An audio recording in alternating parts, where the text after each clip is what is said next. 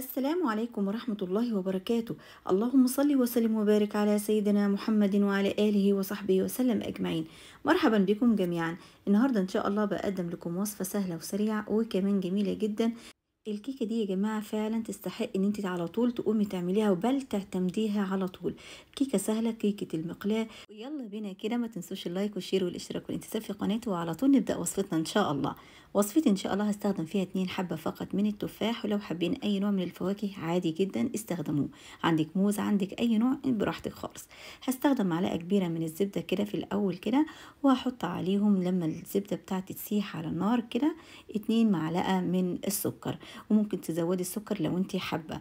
أنا هعمل بقى إن أنا أكرمله شوية كده يا دوبك يسيح معايا أو يذوب السكر مع الزبدة كده وعلى طول مباشرة لحد ما يبدأ يتغير لونه للون الذهبي هنزل بقى بالتفاح بتاعي. التفاح بتاعي يا جماعة أنا قطعته بقشره تمام؟ في ناس ممكن تقشر التفاح عادي براحتها ولكن أنا صراحة حباه يكون بقشره كده. وزي ما أنتم شايفين بدأت أحطه كده بطريقة عشوائية ممكن ترتبيه أو تعمليه زي ما انت عايزة. مفيش أي مشكلة اللي انت عايزاه اعمليه.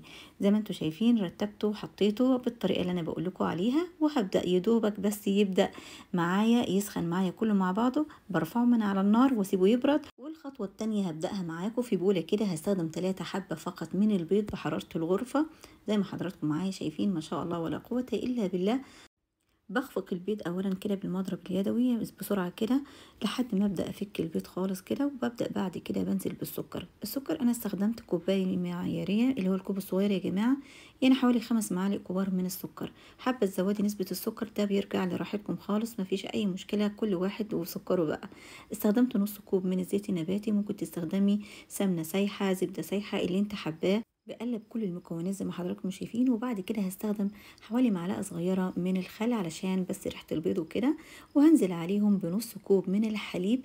طبعا نص الكوب ده عبارة عن 150 ملي من الحليب الدافي وهقلب المكونات كلها وهنزل بقى دلوقتي زي ما أنتم شايفين بكوب معياري كبير.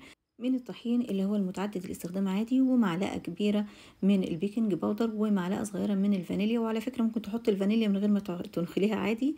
ولكن أنا حبيت أنخل كل المكونات زي ما حضراتكم شايفين كده مع بعضها وعلى أساس لو فيها أي تكتلات تبدأ تفك معايا. بالمضرب اليدوي بسرعة بسرعة تقلبي. وانت بقى في الوقت ده لو حسيتي القوام خفيف معاكي هتبدأي تنزلي بالطحين بالتدريج. أنا دلوقتي زي ما أنتم شايفين هحط 2 معلقة من الطحين وهقلب تاني كل المكونات. بسرعة بسرعة وهتأكد بقى. بس أهم شيء وأنت بتقلبي يكون كله في اتجاه واحد.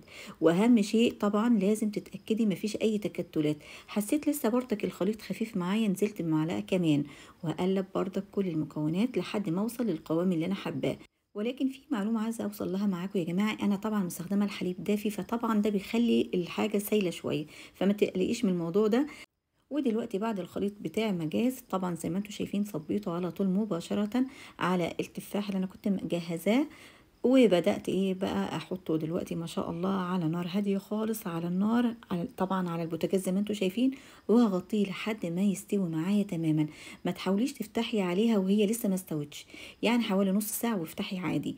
بسم الله ما شاء الله شايفين يعني أنا عايزة أوضح إن هي اللي هي الخرام اللي هي موجودة ديت أو الفتح الفتحات اللي هي موجودة في وش الكيكة ديت معناها إن هي بسم الله ما شاء الله هشة جدا وكمان الأطراف من الجوانب كمان بدأت تسيب يعني استوت معايا. في الوقت ده طبعا حضراتكم ممكن تسألوا تقولوا مثلا إن هي ممكن يكون فيها يعني الوش هيبقى يعني ني شوية أو آه طبعا البخار وكده. أنا بحاول أفتح في الأول الغطا عليها لحد ما تبدأ معايا يعني تتشرب كويس. بعد كده بقلبها عادي. أنا قلبتها وحطها دلوقتي في المقلاة على الوش التاني عشان تدي لون خفيف كده. ده للي حابب. وعلى فكرة ممكن تستكفي. تمام؟ دلوقتي بقلب لكم الوش بعد ما. يعني أنا عطيته لون خفيف كده وبقلبها أمامكم. بسم الله ما شاء الله كيكتي كده جاهزة تماما. يبقى اذا كيكه المقلاه يا جماعة هي من أسهل ما يكون ولكن بس محتاجة منك ان أنت تخلي بالك يعني على أساس ما تتلسعش منك.